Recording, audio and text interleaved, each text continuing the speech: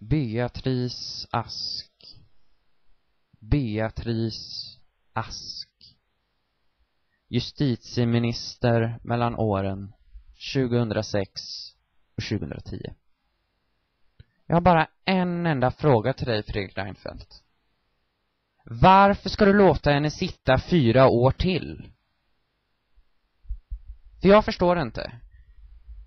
Jag förstår inte alls vad, vad hon har gjort hur hon har kunnat gjort sig förtjänt av att sitta fyra år till. Hon har gjort tre saker som är helt eh, rent av skrattretande faktiskt. Nummer ett.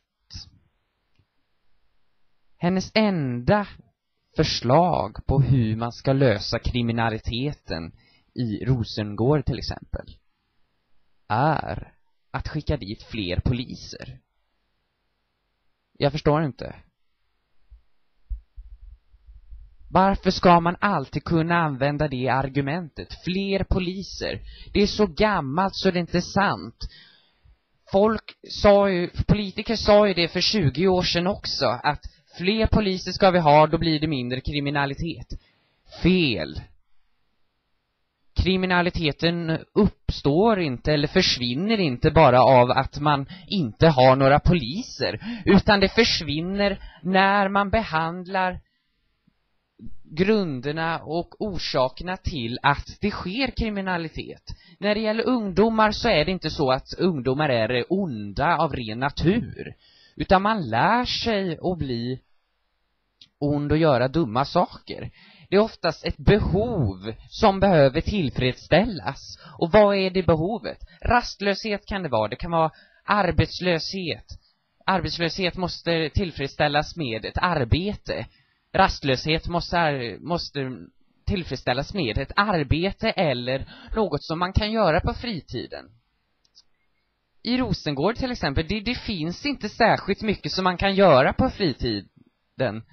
Och jag förstår inte hur tänker man då? Ja, men vi placerar poliser där som kan ta fast dem och eh, föra in dem i ett visst register som kan säga åt dem att du har gjort något fel. Så här ska du inte göra igen. Jaha. Jag bor fortfarande kvar på samma plats. Och du har fortfarande inte gjort så att jag ska göra något annat jag förstår det verkligen inte. Nummer två. Tvångsdrogtester på barn som är under 15 år.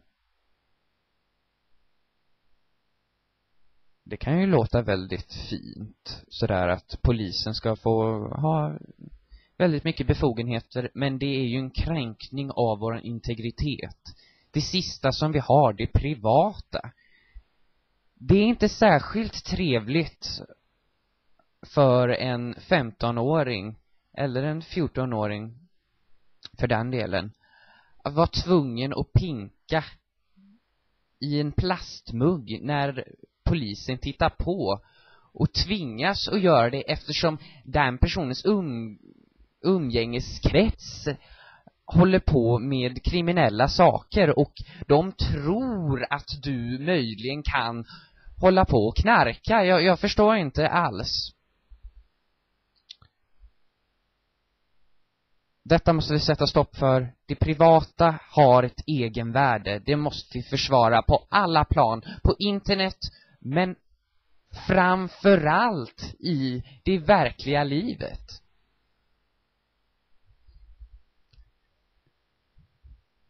Och där på nummer två så är det ju inte bara Beatrice Ask fel, det är ju Johan Persson och Thomas Bodströms fel också. Självklart.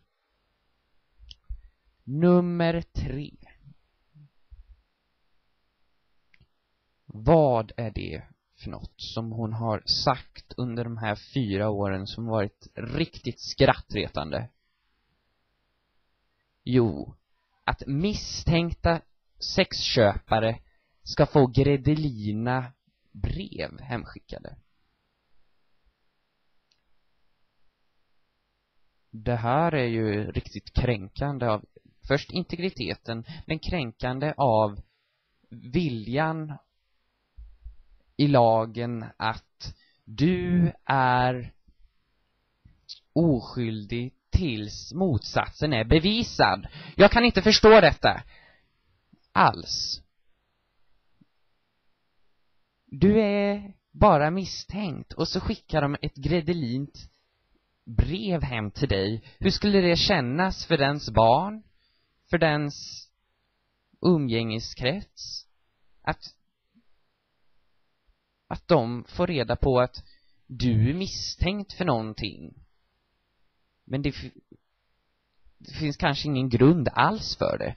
Men du är alltid stämplad för den som har fått det där förbannade gräddelina brevet. Det var det jag hade att säga om Beatrice Ask. Jag hade gärna plockat in någon annan. farbrorblå.bloggplatsen.se